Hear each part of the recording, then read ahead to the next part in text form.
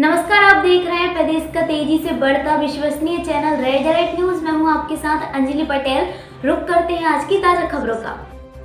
केंद्रीय इस्पात एवं ग्रामीण विकास मंत्री फग्गन सिंह कुलस्ते का गुरुवार को गोटेगांव।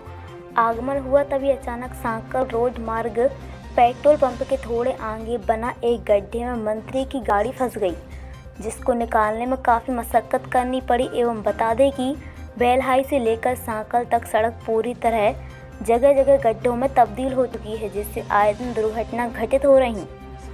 इस सड़क का लोकार्पण होने के बाद कार्य प्रारंभ किया गया, जो नरसिंहपुर की तरफ़ से कार्य को शुरू कर आगे बढ़ता जा रहा। गोटेगांव से सांकल क्षेत्र के ग्रामीणों ने मांग की है कि इस तरफ़ से जल्द से जल्द सड़क बनाई जाए, जिससे आए दिन हो रही दुर्घटनाओं से ग्रामीण बच सकें। बेलहाई से लेकर ग्राम रहली तक की सड़क की दुर्दशा तो इतनी भयंकर दयनीय हो गई कि आए दिन छोटी मोटी घटनाओं के साथ बड़ी दुर्घटनाएँ घटित होना आम बात हो गई, जिससे लोगों को आवागमन में काफ़ी परेशानी का सामना करना पड़ रहा। सड़क में बने गड्ढे में केंद्रीय मंत्री फग्गन सिंह कुलस्ते की गाड़ी फंसकर खराब हो गई, जिसको प्रशासनिक अधिकारियों एवं सहयोगियों द्वारा निकाली गई। गड्ढों में तब्दील हुई सड़क में मंत्री की गाड़ी फंस गई, जिसको धक्का लगाकर निकाला गया।